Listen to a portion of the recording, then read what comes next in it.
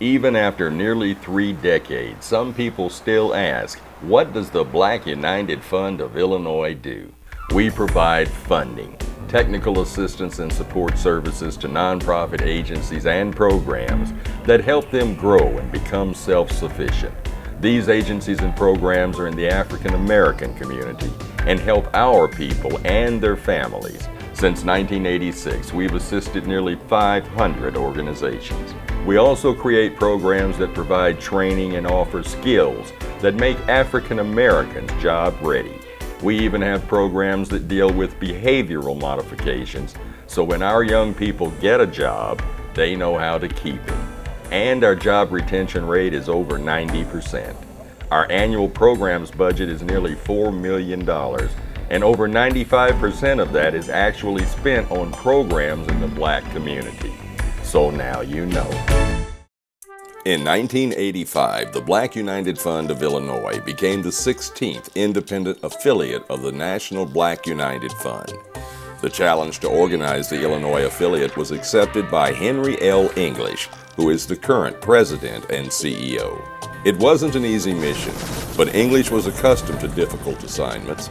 He joined the United States Marine Corps right out of high school and served in the Corps for five and a half years. He was also a hospital administrator and knew what it took to raise money for the human cause. He had to get the organization certified to receive payroll deductions from Illinois state and private industry employees, an accomplishment only three other nonprofit organizations in the state had achieved. English, along with Dr. Alice Palmer, her husband Buzz, and a handful of committed, dedicated Chicago visionaries, began talking to employees of Bell Laboratory and the American Federation of State, County, and Municipal Employees, AFSCME, and soon had secured the 4,000 payroll deduction participants necessary to receive certification. The Black United Fund of Illinois Incorporated was born. We saw ourselves as a self-help self-investment type of organization, our primary focus uh, from the inception was payroll deduction in the workplace. Uh, we asked AFSCME would they help and said, okay, we'll support you and we'll assign a person, uh, which happened to be Rose Daly. Henry and I spent a lot of time on the road from Chicago to Springfield signing up people to get the signatures we needed to get payroll deduction and that was kind of rough but it was it was fun too because I got to see a lot of people I didn't get to see every day. We believe there was a lot of people uh, out there who wanted to give to the fund if they were given the opportunity. The strength lies in our board and the mix on our board. They are individuals who are fairly active in the community. They know a lot about the community. They know who's doing what, how we can uh, leverage the few dollars we have through our grant process.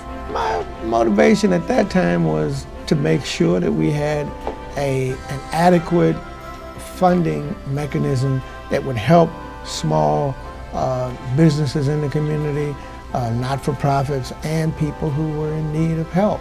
Uh, we were in a position at that time uh, of trying to make sure that uh, young people were served uh, and getting off the street, so we funded organizations that served young people. In fact, that is, to me, the most uh, important function that the Black United Fund performs. Researching and understanding the true needs of the community was the first order of business for BUFI, an acronym that became the organization's trade name, most recently known as simply the Fund. We have a pretty good track record and not only identifying organizations that affect the quality of life in communities, but, uh, but helping those organizations to be self-sustaining. In 2001, BUFI introduced the Torch Award, a special award presented to selected individuals in the Chicago African American community who have provided mentorship to individuals in business or within the community. BUFI has recognized nearly 100 individuals and their heirs at the annual Living Legends Passing the Torch Award Show. BUFI recognizes the current needs of the African American and is consistently innovating their service delivery systems to meet those ever changing needs. The fund is designing a comprehensive strategy to restructure the African American community in Chicago and is developing a prolific plan to prepare the next generation for success in America. The greatest challenges right now is the generations of individuals who have not been ever been really employed. You know, we, go on a second, third generation of, of, of, families who not really had a stable job or a job at all. And, that, and now we're seeing the results of that. That forces us to look at a couple of things. On the economic side, job creation, job training.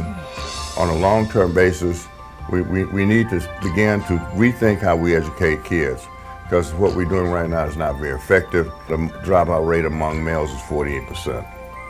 I mean, that, that's not acceptable. If I was if, if I was Ford Motor Company and 45, 48% of my cars were defected, I would be out of business. It requires mobilization of all stakeholders, from the schools, the churches, the businesses, the whole gamut. We collect a lot of data, so we do a lot of research.